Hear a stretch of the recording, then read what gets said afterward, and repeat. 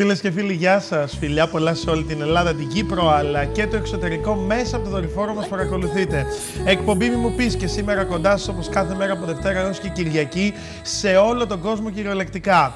Έτσι δυνατά, έτσι με ξένη μουσική, με ξένο αγαπημένο δικό σας κομμάτι θέλω να ξεκινήσουμε και σήμερα. Διότι κάθε μέρα είναι μια νέα αρχή, είναι μια καινούργια μέρα, είναι μια μέρα διαφορετική με νέες φιλοδοξίες, νέες προσδοκίες αλλά και πάνω απ' όλα με χαμόγελο. Διότι ακόμα λέει και αν κάτι σου πάει στραβά, εσύ χαμογέλασε στην κακή σου τύχη για να έρθει και η καλή πλευρά του νομίσματος.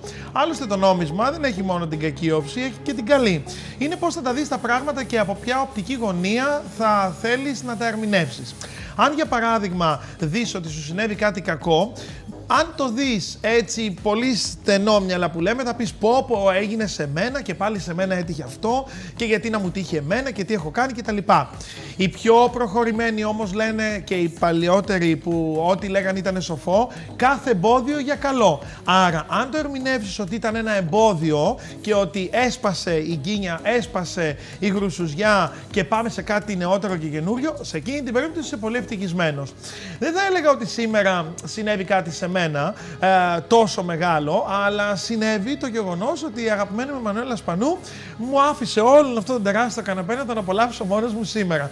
Θα προτιμούσα βέβαια να ήταν εδώ δίπλα μου και ας μην μπορούσα να κάτσω ούτε καν στον καναπέ. Αλλά δυστυχώς, επειδή έτσι μια μικρή ίωση την ταλαιπωρεί από εχθές, προτιμήσαμε σήμερα να μας παρακολουθήσει και εκείνη από τον καναπέ της στο σπίτι, α, να της στείλουμε τα χαιρετίσματά μας, να της πούμε ότι είμαστε δίπλα της και την αγαπάμε πολύ.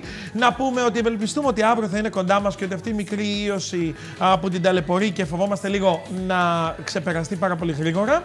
Αλλά και βεβαίως η Εμμανουέλα Σπανού, ακόμα και όταν δεν κάθεται εδώ στον καναπέ, υπάρχει σε αυτό το σκηνικό, μιλάει, δίνει το δικό της αέρα, κάνει τις δικές της ερωτήσεις, διαστόματος Αλέξανδρου Πετρίδη, α, διότι και που δεν είναι, ξέρω ακριβώς τι θέλει να ρωτήσει τον καλεσμένο μας, ποιες είναι οι απορίες της, ποια είναι τα σκέρτσα της. Τώρα θα μου πεις, δεν την έχεις δίπλα σου και να την ακουμπάς κιόλας, δεν πειράζει. Ακουμπάω στο μέρος που κάθεται και είναι το ίδιο για μένα. Άλλωστε νομίζω ότι πάρα πολλές φορές εμείς οι άνθρωποι ζούμε και με τις σκέψεις η εικόνα του μυαλού, λέει, πολλές φορές είναι πολύ καλύτερη από μια πραγματικότητα όταν δεν είναι τόσο καλή. Για παράδειγμα, πόσες φορές έχετε πιάσει τον εαυτό σας να κάθεστε και να αρμενίζετε ε, το πέλαγος ή να βλέπετε, ξέρω εγώ, ένα βουνό ή να βλέπετε μια πολυκατοικία και να λέτε πω πω τι ωραία που περνούσα τότε με τον ή με την ή δεν ξέρω εγώ πω πω τι ωραία η παρέα που είχα τότε στην Άξο που η παρέα αυτή άλλαξε ή να λες ότι πω πω τι ωραία που θα περάσω και φέτος με το νέο έρωτα στη ζωή μου. Έτσι λοιπόν κάπως θα φανταστούμε ότι η Εμμανουέλα είναι στην παρέα μας και η παρέα μας δεν έχει δύο άτομα σήμερα αλλά τρία. Μη μου πεις και πάλι κοντά σας, Facebook ε, Αλέξανδρος Πετρίδης Α και Β για τις δικές σας μουσικές αφιερώσεις, προτιμήσεις, τα δικά σας αγαπημένα τραγούδια αλλά και πάνω απ' όλα τα σχόλια για τους καλεσμένους καθώς επίσης και μην ξεχνάτε να μας ενημερώνετε ποια είναι τα ερωτήματα, ποια είναι τα θέματα που θέλετε να ρωτήσουμε ε, στις διάφορες στήλες που έχει αυτή η εκπομπή. Στη στήλη εμείς και το παιδί, εμείς και το σπίτι, στη στήλη της αισθητικής ιατρικής, αλλά και στη στήλη της αισθητικής και ε, για τη μόδα και για τη γυναίκα. Σήμερα ήθελα να έχω έναν άνθρωπο που ε, θα με κάνει να περάσω πολύ όμορφα μία ολόκληρη ώρα. Ε, έχει πολλά να πει κάθε φορά που τον φιλοξενούμε, γιατί είναι ένας άνθρωπος ο οποίος μπορεί στο επάγγελμα να είναι ηθοποιός και σημειώνω εγώ ένας πολύ καλός και σπουδαίος ηθοποιός, αν και είναι νέο παιδί.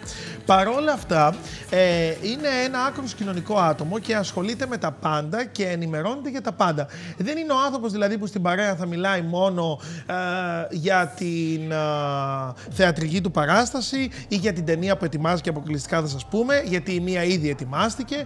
Δεν είναι ο άνθρωπος που θα μιλάει μόνο για τα καλλιτεχνικά, είναι ο άνθρωπος που θα σου μιλήσει και για την πολιτική, θα σου μιλήσει και για τη μαγειρική. Α, τον αγαπάνε πολύ οι παλιοί και μεγάλοι ηθοποιοί, είναι αγαπημένος στου φίλου και αυτό είναι πάρα πολύ σημαντικό.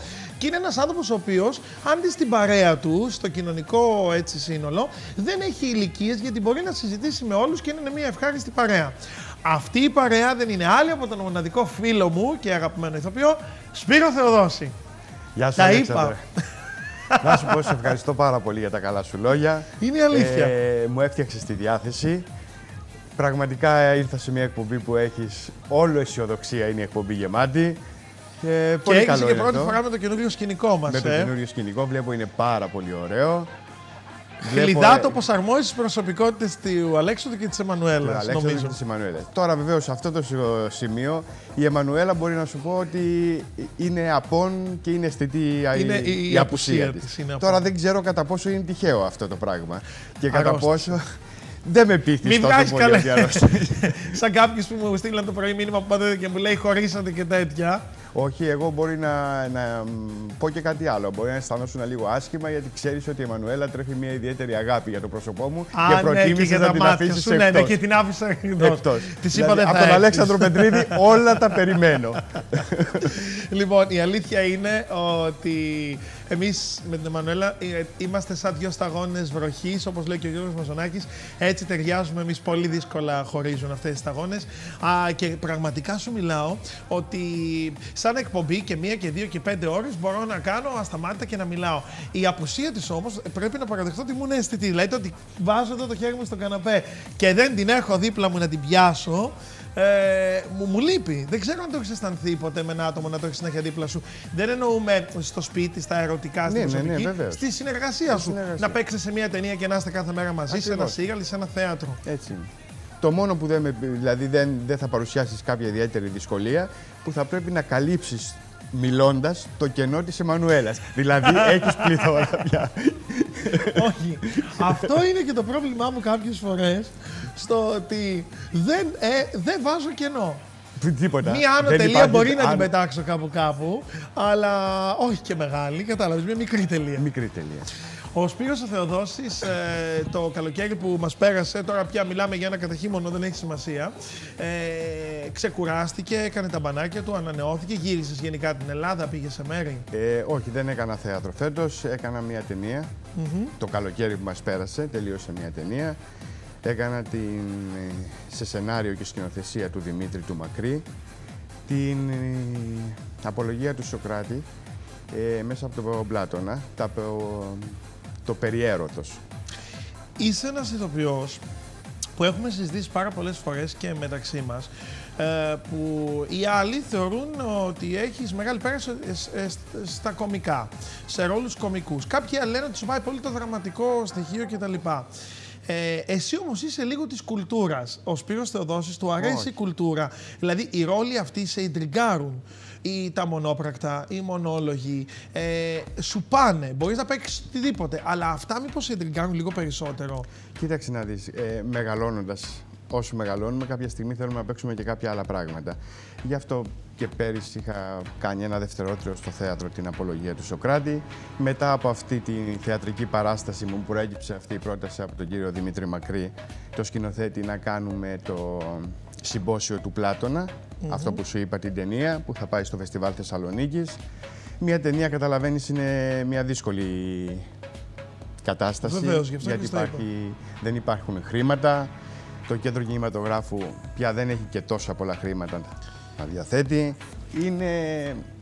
Πρέπει πάνω απ' όλα λέει, να αγαπάς αυτό που θέλεις να κάνεις και καμιά φορά να κάνεις και αβαρίες που μπορεί να είναι και εις βάρος Τις περισσότερες βέβαια φορές ε, το χειροκρότημα, ε, το μπράβο, το συγχαρητήρια είναι μ, απλές λεξούλες που είναι η μεγαλύτερη χρηματική ανταμοιβή που μπορεί να έχει ένας καλλιτέχνης.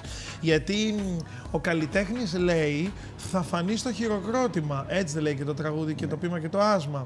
Άρα νομίζω ότι για την ταινία αυτή ε, όταν θα δοθεί το χειροκρότημα από το φεστιβάλ και από όλη την Ελλάδα και από την Κύπρο, από οπουδήποτε θα φανεί ε, και, και μετά στους κινηματογράφους, νομίζω ότι αυτό ε, ίσως θα είναι για σένα μια πολύ μεγάλη ανταμοιβή. Για όλους, για όλους τους συνεργάτες που δουλέψαμε για αυτή την ταινία, βεβαίως θα είναι μια μεγάλη ανταμοιβή. Μίλησε Και μου να λίγο ξέρεις- για, για αυτή την ταινία. Δηλαδή, τι περιμένουμε να δούμε; Περιμένουμε να δούμε καταρχήν κουστούμια ε, εκείνης της εποχής. εποχής, Σε ναι. ποια εποχή πάμε; Στον Πλάτωνα.